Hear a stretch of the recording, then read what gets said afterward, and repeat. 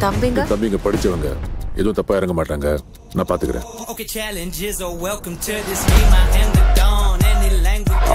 அவருக்கு ரெண்டு முகம் இருக்குக்கா.